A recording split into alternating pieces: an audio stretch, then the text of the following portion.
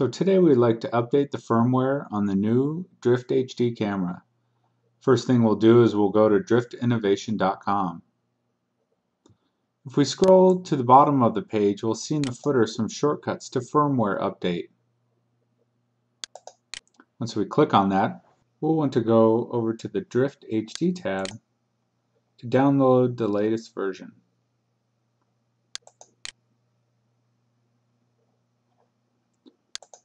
Once we save this file, make sure it's labeled drifthd.dat. I'm going to minimize the browser. Go ahead and plug your USB into the camera or put the SD card into your computer. Open the folder to view what you normally will see the DCIM folder and we want to go ahead and pull open that firmware file that we downloaded and put it right into the root of the Drift HD SD card.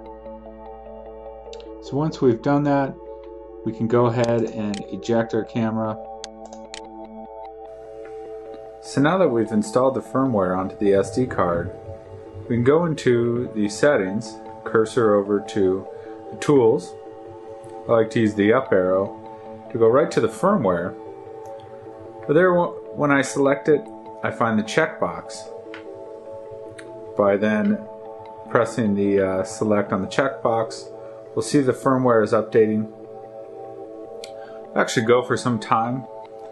You know it updated correctly if it goes for some time and then it shuts off the camera. If the firmware flashes and it doesn't shut off the camera, then something went wrong chances are there that your uh, file name is incorrect. Once that's happened, we can go ahead and turn the camera back on. And what I highly suggest doing is double checking that you have the right firmware installed and then you can reformat that SD card. So we'll go over to our settings, cursor up. I see the, the latest firmware that I had installed, that's great. I'm going to continue to go up to the format and reformat, and that gets rid of the firmware file that was in the root of your drive. So hope you enjoy all the latest firmware enhancements from Drift Innovation.